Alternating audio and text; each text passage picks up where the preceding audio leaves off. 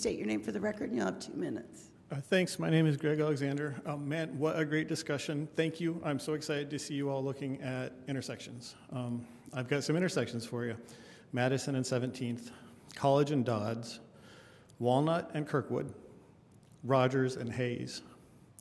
That's 2021. That's fatal crashes on city managed streets in 2021. Last year, we had a fatal crash at the intersection of Rogers and Hayes, and another at Walnut and Kirkwood, a death at College and Dodds, and another at Madison and 17th. That's three blocks from my house. That's what we're talking about, right? We're talking about safety. That's what safety means. Safety is what those people didn't have when their body was mangled by glass and steel. Those four people didn't receive proactive safety when they were using public infrastructure at those four intersections. Another thing those locations have in common none of them are in Elm Heights. Uh, even though in 2020 there were two deaths at the northwest corner of Elm Heights. Uh, we desperately, desperately need proactive safety. Um, heck, we need reactive safety. Some of these intersections are, are repeat offenders.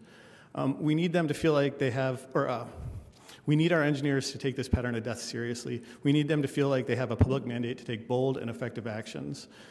The thing is, our engineers are trying to do something really difficult. They need the benefit of this council's guidance. They have an enormous responsibility to react to the bloodshed in our street. They need a lot more support from you than they're getting. And instead, you're letting one neighborhood micromanage them.